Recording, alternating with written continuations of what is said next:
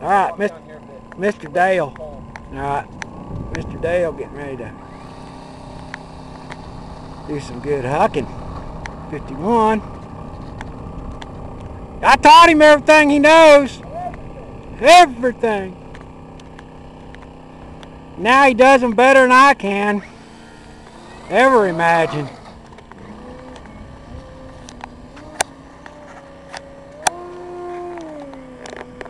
Got too much power, that 10XL. Now your prop doesn't seem to be bothering over the little tip grind. Nah, Good. right. Maybe slightly out of balance, but- There it is.